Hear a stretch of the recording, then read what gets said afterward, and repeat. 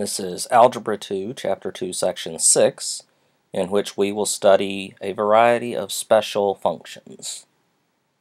The first of our special functions is what we call a piecewise defined function.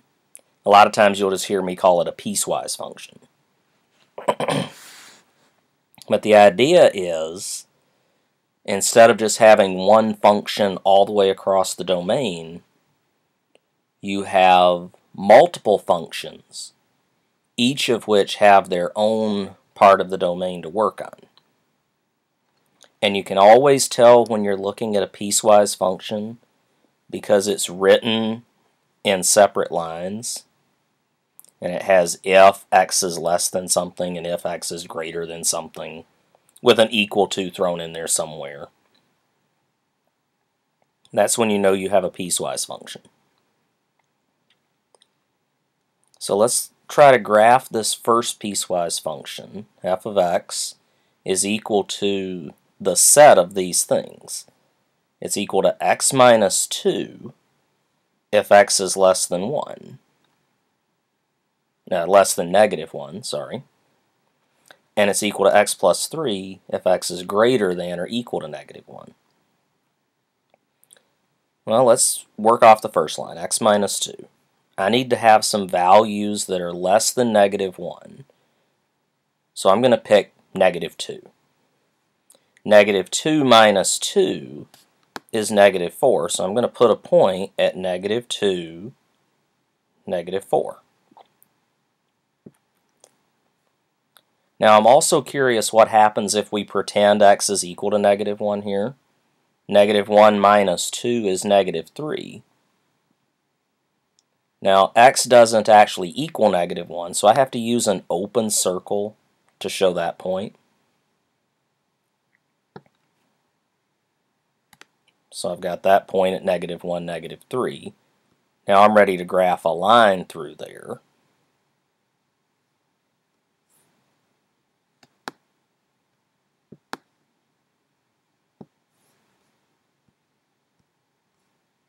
So I've got my line through that section. Now I'm ready to move to the second section, where x is greater than or equal to negative 1. So first, what happens at x equals negative 1? Negative 1 plus 3 is 2, so at negative 1, I get y equals 2, negative 1, 2.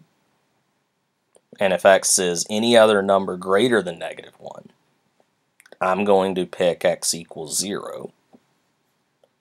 0 plus 3 is 3. So that point goes at 0, 3. And now I can graph the line that's through there.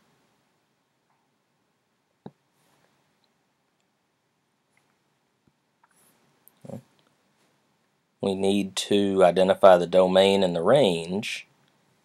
The domain is going to be all real numbers unless there's a skip involved we go over to x equals negative 1, then we go from 1 the rest of the way, negative 1 the rest of the way, so we don't skip anything. So the domain is all real numbers.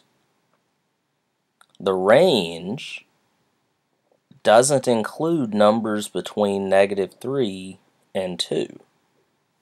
So we have to show that. The range is everything less than negative 3 or greater than or equal to 2.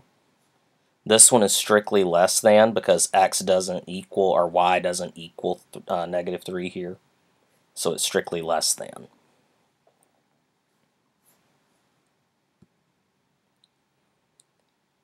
Another thing they're going to ask us to do is write a function for the graph. Well, we've got three sections of lines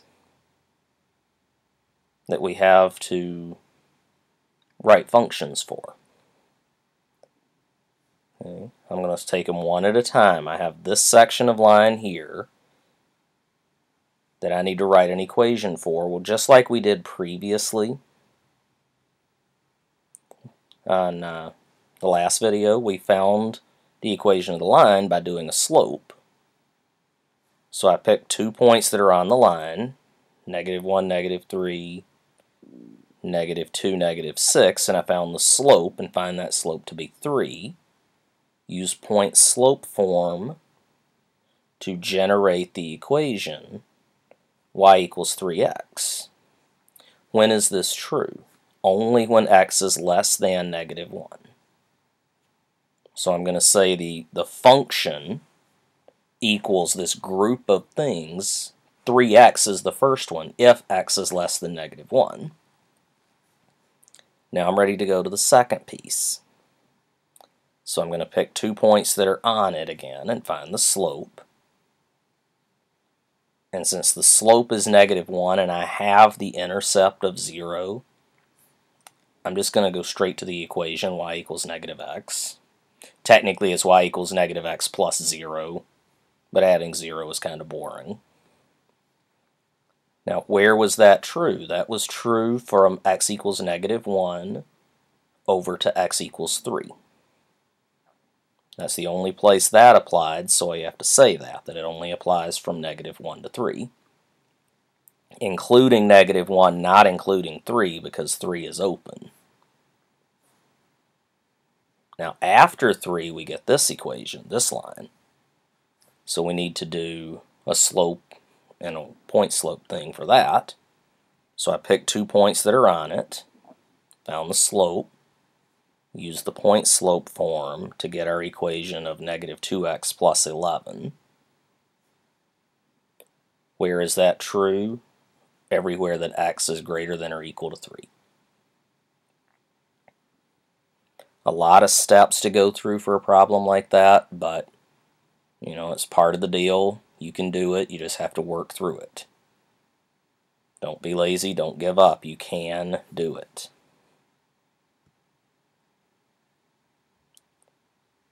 A second kind of special function is called a step function.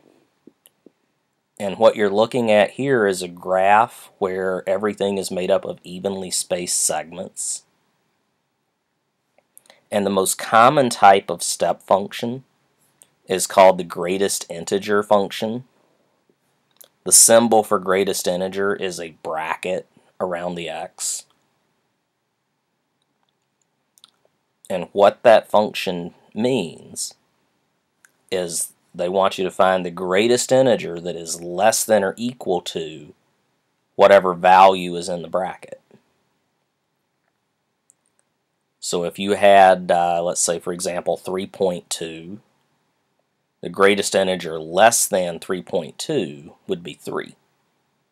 Because remember, an integer is a whole number, positive or negative. If you had 5.8, the greatest integer less than 5.8 would be 5. If you already have an integer, you just stay with that integer. The easiest way to think about the greatest integer function is to round down. Whatever value you have, round it down to a whole number. Now we're going to do some graphing with these. Normally when we do a graph, we want to think in terms of an XY table. And we pick values for X, one value for each one when you're dealing with the greatest integer, you don't want to do just individual values. You want to do a range of values.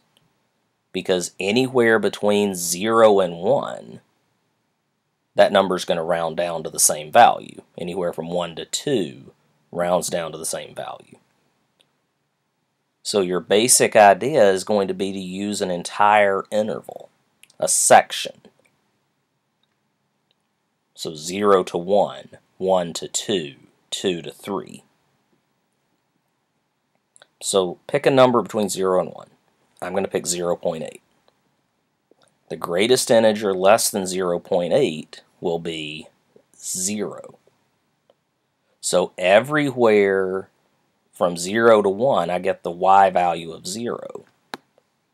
So I'm going to take this and put it on the graph between 0 and 1. Notice the one side is open because if you plugged in 1, round down 1, you still get 1. So you leave the right side open. How about 1 to 2? Pick a value between 1 and 2. 1.3, let's say, round it down, you get 1. And that's true for anything from 1 to 2, so I'm going to put a section from 1 to 2 at y equals 1. And then from 2 to 3, anything you have would round down to 2. And my little bars are too long for for that, but that's okay. And you can see now the step that goes on. This is why it's called a step function. It would continue going forever in both directions. We don't have to do all the cases. We just have to do enough to show it. Now notice the difference between our first function, integer of x, and our second function, integer of x plus 3.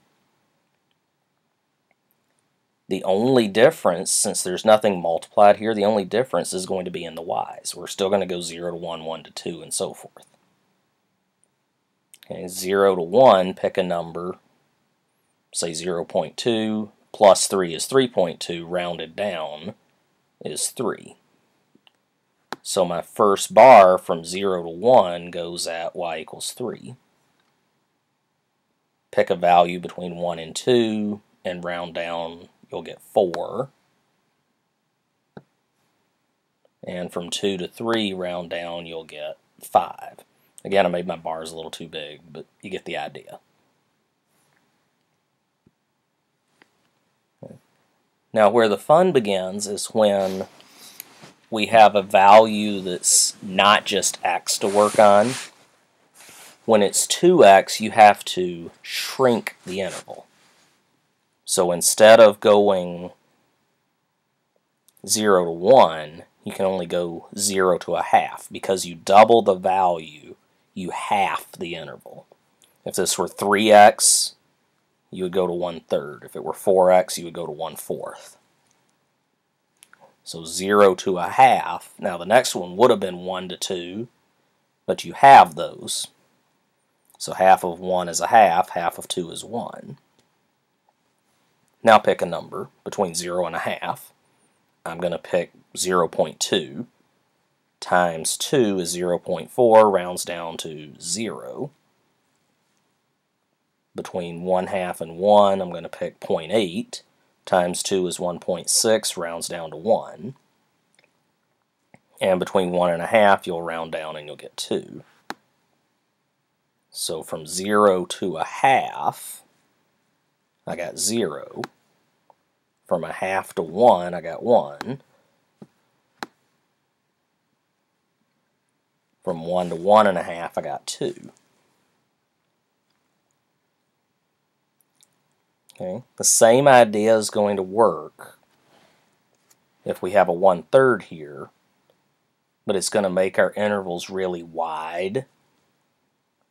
Instead of 0 to 1, you get 0 to 3. Instead of 1 to 2, you take those times 2, you get 3 to 6, 6 to 9. Pick a value between 0 and 3. I'm going to pick 1. A third of 1 is a third, rounds down to 0. The next group I'm going to pick 5. A third of 5 is 1 and 2 thirds, rounds down to make 1. The next one will round down to make 2. So we have from 0 to 3, this whole section at 0. From 3 to 6, that whole section is at 1. From 6 to 9, that whole section is at 2. And you get wider steps. The rest of the lesson for this will be continued on part B of this video as I'm almost at my 15 minute time limit. So we will uh, reconvene on part B and continue the lesson.